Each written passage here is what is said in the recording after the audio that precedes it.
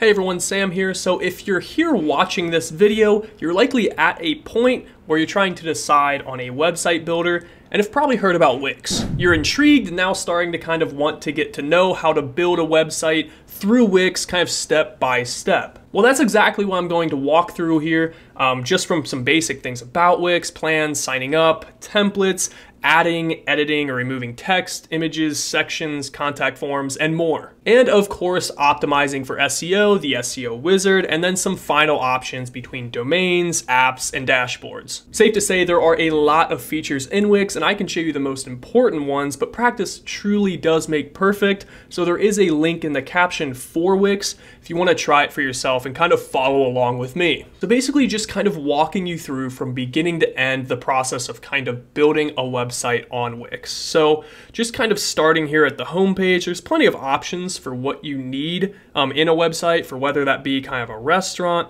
or a blog or a portfolio and kind of more options. And it's nice because as we get further into this walkthrough, you'll notice you can choose templates kind of based off what you need it for and kind of what your business is built around. Anyways, so as far as pricing and plans kind of go, uh, Wix is a great option because they do actually have a free plan where you can kind of test the waters of sorts um, with the interface and the tools and actually build a fully functioning website for yourself uh, without paying for anything. Of course, you'll still have that lovely Wix branding that everyone loves, um, but it's worth at least trying. Um, so kind of anyways, you know, as far as the plans go, it goes from light to core to business to business elite and then enterprise. Um, prices are kind of corresponding here. Uh, the higher plan, as the higher plan goes, um, the more features and storage space you essentially get. So kind of depending on what you're needing uh, the website for, could be as cheap as $16 per month or all the way up to $159 per month, kind of depending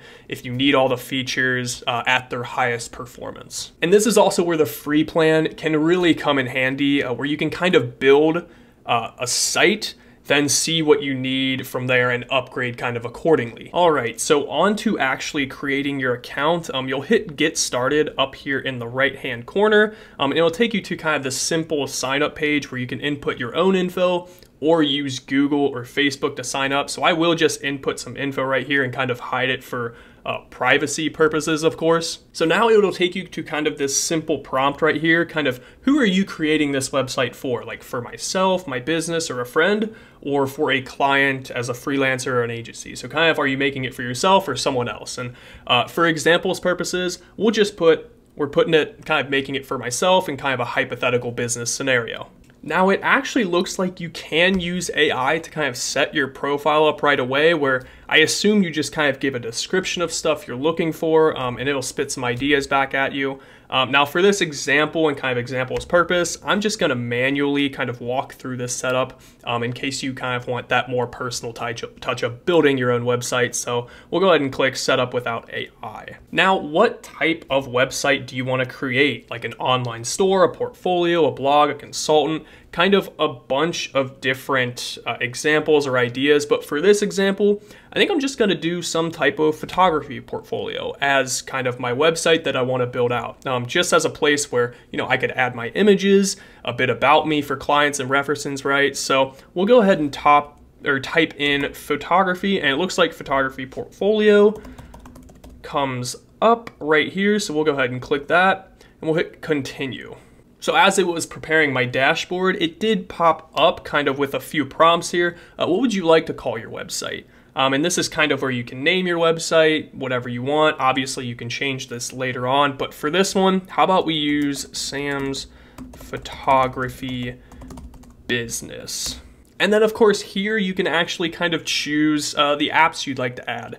Whether you want obviously a photo portfolio, which is likely what I'll choose, but also kind of adding events or even Instagram posts. And who knows, maybe I'll even add kind of an, uh, a video option because, you know, if I do photo, maybe I do video too. So we'll go ahead and click on all of those. All right, we are all set. Let's go ahead and continue to the dashboard here. Now just kind of a really quick walkthrough of the dashboard. You'll see everything on the side over here from kind of like setup to home to site and app, uh, and then specifically to kind of like your portfolio and bookings, uh, to contacts, to marketing and SEO.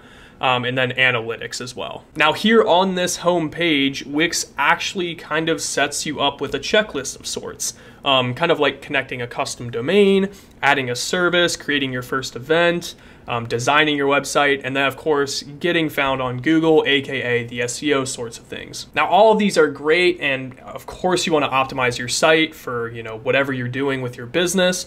But for this example, I will walk through kind of designing your website first. So we'll go ahead and click on Design Site. Now clicking on Design Website, it will give you two options, kind of using the site builder and let Wix kind of create a site for you, or you can customize a template. And for this example, let's go ahead and take a look at the templates that they kind of offer, especially um, kind of for a photography portfolio. And now since I gave those directives of a photography portfolio, Wix already has some set template results for me. Um, and let's just scroll down through these and kind of see what they have to offer. Um, there's obviously a lot here from family photographers, um, looks like some travel options, landscape, more family, fashion, and it kind of tailors depending on what kind of photography you're doing, it looks like, to the templates that they offer, which is a really cool feature. Now, honestly, I kind of like this one here. Um, it just seems simplistic, has some socials on the front, it looks like, name, photo carousel. So let's pick this one right here, but before we actually edit it, let's just view it and kind of make sure it's actually what I want. Yeah, looks like it has name up here, portfolio, looks like it has some images that kind of blend into each other like a three-point carousel. Um, so this is probably where I put, you know, my, my best images to kind of showcase the work before people start diving into my website. You got the three bars up here, kind of going through urban, people, nature, video, albums, about me, blog, um, just kind of anything that you want on your website. You can add pages for that and customize them. And then, of course, you have contact info at the bottom and socials at the bottom as well. I do like this one, so let's go ahead and choose this template and click edit this site um, and kind of walk through some of the features within Wix's builder. And again, you could let AI write your site content between details and name of site and generate the text. And I'm going to go against that right now, but it is an option. So it's pretty cool to see that Wix is actually trying to adopt uh, AI in ways that it can at least. Now, just a basic walkthrough before we start kind of editing some of the features here. Um, over to the left, you've got elements like text, images, buttons, uh, strips from gallery, and a ton more options. Um, you can add section, add pages, uh, and menu, site design, where you can kind of change the color, theme, background. Um, yeah, app market, where you can add apps. Um, man, of course, your business with like bookings, blogs, uh, payments, photos, and more. Um, and then media and stuff as well, where you can kind of add your own social links, videos, and more. Up top here at the left are your pages where you can drop them down and edit between the pages. Uh, you can connect your domain up top, and if not, like I said, you'll get that Wix branding. And then, of course, they'll put the upgrade option up here as well, uh, kind of when you're ready to take that next step. So let's start editing and let's start with this home page, right? Kind of top here, uh, name and portfolio. Um, obviously, it's not my name, but I do kind of like the portfolio underneath. But let's just edit some simple text. Um, so you're going to double click in here. And this is where you can just kind of add your name. And you can do different between uh, font size, fonts, style to it, bold, italicize, underline, indentations, kind of effects and animations. You can really do all you kind of want to. Uh, to the text up here. But obviously, since it's a template, I'm probably just going to keep it the same because I liked how it looked. Um, but that customization option is there. So let's go ahead and write my name up here. Boom, text edited. And it's really nice interface to edit text, kind of animations and more. And honestly, that's kind of something I can appreciate as someone who does not have a bunch of experience building websites and coding on the back end and really like hardcore customizing. So it's nice that the builder in here is kind of a friendly interface. It's really easy to customize stuff like this. And then of course you can add kind of an anchor or a header where you have, you know, your, your about section, your booking section, your FAQ section. But since we have kind of this three uh, point over here, or this three bar over here that'll kind of toggle between the pages, um, I'm probably just gonna not go ahead and do that, but it is kind of uh, a great feature if you're on a different like template or want to get rid of the three sidebar thing and you just want an anchor or a header. So let's kind of move down this homepage and edit the photos, right? So this is kind of like a three picture carousel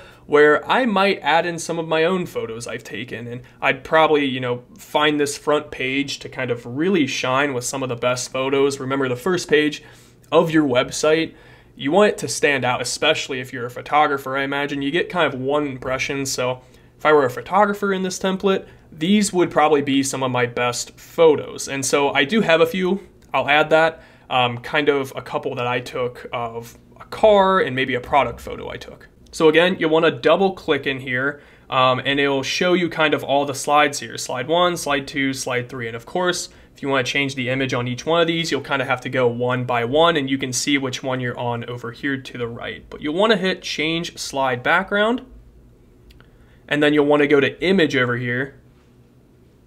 And then of course you can upload your media, um, kind of choose between Shutterstock, Unsplash. There's a bunch of different options if you want to upload that thing, uh, things that aren't yours.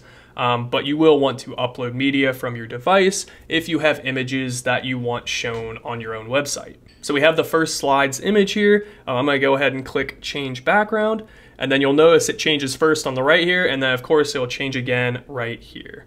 So you'll go to slide two, kind of do the same thing, uh, change slide background, you'll hit image, you'll upload media, you'll upload from your computer, you'll grab an image, put it in there, and that does take a second, just kind of depending on how big the file size is as well, um, to upload from your computer into Wix. All right, looks like it's uploaded. Awesome. We'll hit change background. You'll see the change on the right. And then, of course, on the big one, slide three of three, same exact thing here, here, upload, upload, choose one, and then of course wait for it to upload, hit change background and you'll notice the changes. So now, as you can kind of see, there are three images in here that of course I took, so there's no reason for, you know, copyright or anything, but you can add three images here, and now the carousel looks a little better, can showcase, you know, whether you want car or product or kind of whatever your business is tailoring to. And you can make this carousel uh, with a five photo carousel. You can make it with six or two or just one, um, just whatever by adding another slide. Um, but I'm just gonna keep it for three right now. And we'll just kind of move to the bottom. Of course, you can change the contact information between whether you want your blog on here, that might be an external site, or you want your email here, telephone, and then of course updating the links uh, between your socials, whether you have X or Instagram or TikTok or YouTube or kind of whatever you want on this homepage. So let's go ahead and look at a preview of what it'll look like without all these dotted lines and customization and stuff in here. So let's go ahead and click preview. It'll take a second, and this is what it's gonna look like essentially. Um, you've got the three images here that are kind of blending together, um, you know, between three photos I uploaded. And then, of course, you have your contact info and socials at the bottom. Now, I'm not going to do this for every single page here, but let's kind of do some page management here, right? So this drop down up here, like I said, you can kind of manage your pages and kind of manage the orders. Um, maybe I have a home page. Maybe I want car photos, maybe I want travel photos or product photos, or maybe I want to do it all by location on different like trips that I've gone on if you're a travel photographer. Um, all in all, this is kind of how you organize your orders and renaming stuff. So let's go ahead and put uh, cars. Let's rename this one to travel, travel, and let's rename this one to products. And that's kind of how you can customize your pages. And then of course you'll have to go into each page like you can see over here, it's been changing. Uh, change the titles, change the images, kind of whatever you want to put in each page. And now in each of these pages, there can obviously be different like types of content or services, or maybe you want a booking page um, and more. And this is where kind of the elements aspect of things can kind of come in handy for sections or payments or stores and more. And it would take way too much time to go through each of these, but this is where you can kind of toy around on your own um, in the link in the caption while building your site. So let's go ahead and just save the page. Um, not publish yet because I don't want to do that just yet. Now that's a lot of the editor and customizing the pages and honestly just kind of messing around with the site tools themselves and how your website wants to look. Uh, that'll be very case specific, business specific, um, kind of however you want your site to look, to offer, uh, whatever. But if there's one thing we all want to do, it's rank higher in Google. So let's talk SEO. Let's go back to the dashboard. So back to the dashboard, marketing and SEO. Um, checklist, profile, kind of Google Analytics, Google Ads, Facebook and Instagram ads, email marketing, social media marketing, coupons. There's kind of a marketing essentials uh, checklist up here as well. There are a lot of tools so you can make sure that your website on Wix is optimized to its fullest ability. So for now, let's go to this SEO checklist and just kind of see where we can get some quick wins, kind of where we can approve. And obviously, um, you'll just answer a few questions to kind of get started, kind of what you want to do. Obviously, what's this business's brand or name, uh, businesses or brand name? Uh, Sam's Photography Business. We'll hit that. We'll go next. Uh, where is this business service customers? It's really trying to find if you're more online service or if you're kind of a physical address with a location. I'm sure it'll kind of tweak things to make sure that you know you have your address on there. But for now, let's just do online. And then which keywords do you want to use? And obviously you can get keywords down here like keyword ideas and kind of find high performing keywords in your business niche so you can best rank. But for now, I didn't do any research for this, so we'll just do photography videography, uh, car photography, travel photography, and photos. And that seems good enough. We'll hit next. Awesome. Now you've kind of inputted that information uh, it'll kind of go through step one, step two, and step three, kind of getting your homepage ready for Google search, optimizing your individual site pages, and then, of course, kind of keep progressing with the site's SEO and just maintenance. So, anything from setting the homepage title for search results, um, adding text to the homepage, connecting this to a custom domain. Of course, you'll probably have to upgrade to a premium uh, plan, but that option is there. But all in all, this left side over here between S SEO and website will kind of be your guiding light once your website is set up and customized um, between automations, contacts, um, websites, and overviews. And then, of course, below all this, you have kind of your inbox, your customers and leads, you have your marketing, and then you have your analytics going from, you know, traffic overview, sales overview, kind of any insights, and then kind of any real time traffic that are coming to your website. And then, of course, I will hit on this again, but last but not least, uh, really deciding what and when you decide to upgrade is very important. So you can spend a month or two kind of designing your website for free, uh, getting a hang of things, so you don't have to pay for those months, uh, depending kind of like how intensive your site is, uh, how much storage you need. But then you can upgrade and kind of get that free domain, uh, get rid of that Wix branding, get some more tools, um, and some more storage. So now I know this was a lot to cover and a lot that probably wasn't covered between you know all the things you can do when you upgrade plans, uh, back-end coding and more. But this step-by-step kind of walkthrough hopefully gave you a good uh, starting point of beginning to end from signing up to choosing a template, uh, editing with tools, elements and page organization and kind of the actual building of your site, and then fine tuning with the SEO and analytics, and maybe upgrading later on once you've had a really solid baseline of kind of how Wix works and what you need in kind of a premium plan. So I hope you enjoyed this video, and I will see you in the next one.